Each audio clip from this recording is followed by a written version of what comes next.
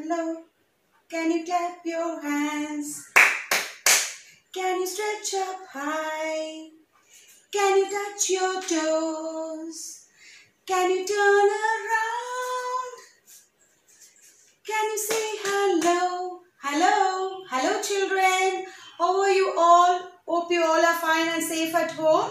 Today's lesson, ma'am is going to teach you big and small. Are you ready to learn? Big and small is classified by the size. All of you sing after me. Big and small, big and small, big, big, big, small, small, small. All, all of you sing after me. Big and small, big and small, big, big, big, small, small, small.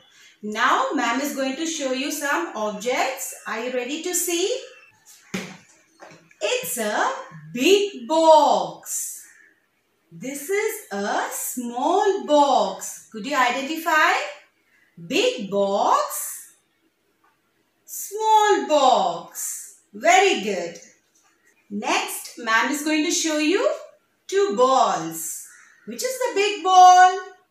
Right. The orange color ball is big. The red color ball is small. Big ball, small ball. Very good. I'm going to show you cars. Big car, small car. A big car, a small car. Next, I'm going to show you clocks. A small clock, a big clock. A small clock, a big clock. Now ma'am is going to show you few pictures. Just look at the picture. Mummy elephant is big. Baby elephant is small.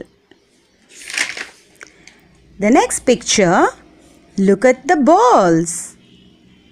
A big ball and a small ball. Now look at this picture. There are two dinosaurs. The green dinosaur is small. The yellow dinosaur is big.